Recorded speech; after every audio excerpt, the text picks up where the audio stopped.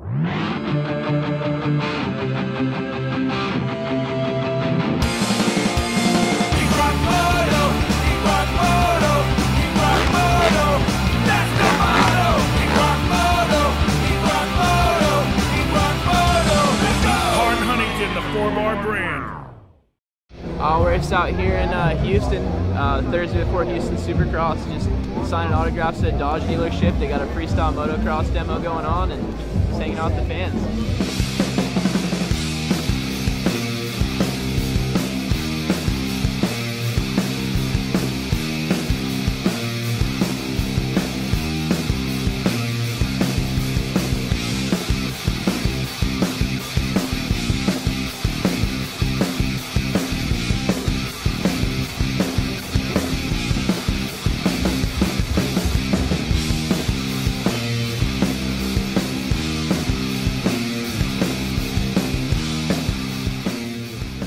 Good luck in your races. Thank you.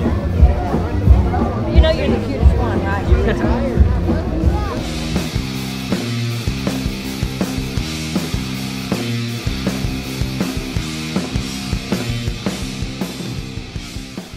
Well, we're here in Houston for a uh, RCH Racing uh, autograph session, local Dodge dealership here in Houston, and uh, went pretty good. You know, it's uh, that's what it's about. Now it's uh, straight business. Tomorrow we'll go to the the stadium, uh, check out the track, do a couple things business-wise. I got a few TV meetings uh, to get ready for Saturday's race at uh, at uh, Reliant Stadium. Can't wait to get there. It's going to be good. We got some momentum going, and uh, just thank thank everybody for coming out tonight, and and hopefully hopefully they enjoyed their time.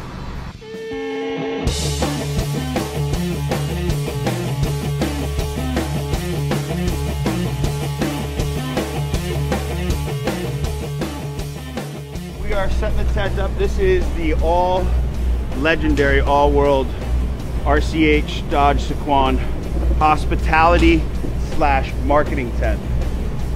People write magazine articles about what goes on here. Every year they expect something new and exciting from Hart and Huntington slash RCH. And this year they're gonna get it, and I'm gonna build it right now. Well, I'm not really gonna build it.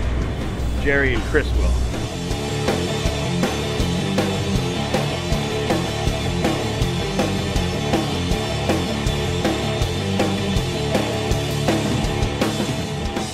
Yeah, so we're going to uh, going to the like a little briefing with Feld about the 2013 Monster Energy Cup. Obviously, everybody knows I designed that track, and you know I really got my hands on it. So it's been an honor to be able to do that.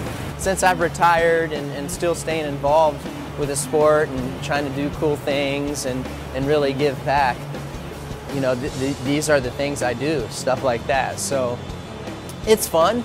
It's what I love to do still be involved, give back, and and, and still be pretty influential in some uh, in some things that go on.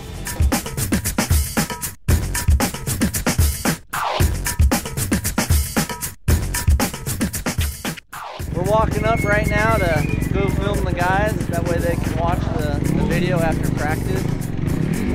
See, see what we got, you know, how they're looking.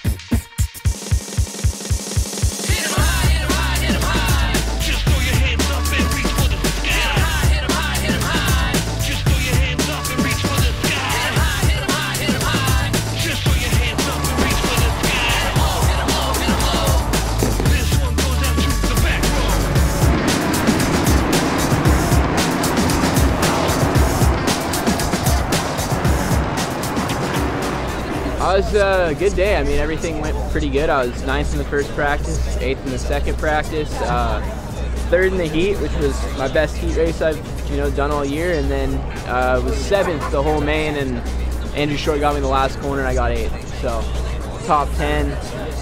I mean, I'm happy, but I still feel like I have a, a lot, you know, a lot further to go, and uh, I feel like I have it in the tank. It's it's not like I need to find it. I just need to bring it to the races on the weekend. I think uh, for us having a bad weekend getting 10th isn't isn't too bad, but uh, we're on the next weekend and uh, have a good week this week and uh, get back home to California and get some, get some riding in. Maybe ride outdoors one day and uh, see what we can do. Well, it's over. Houston. It was fun. Uh, I think uh, tonight, all in all, went pretty well. It was the first time we've ever finished uh, both guys in the top 10.